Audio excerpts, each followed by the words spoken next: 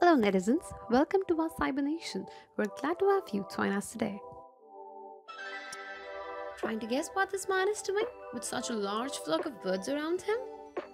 To your very surprise, he actually puts the feet on the floor in such a pattern that it eventually leads to the formation of a giant piece of art as the birds feed on.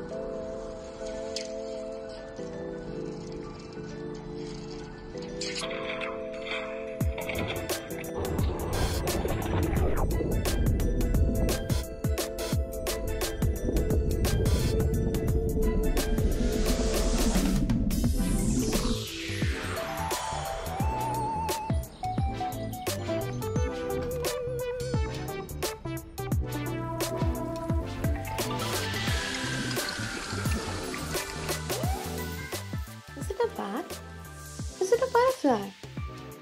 No. Here we have a little pteropod that resembles a butterfly.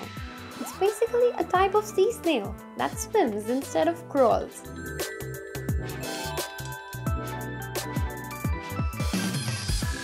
And that's a unique piece of slit scan combined with digital contemporary art. This artist really got awesome camera tricks. Follow him on Instagram for more of his work. This ravishing home was built all in entirely a single day.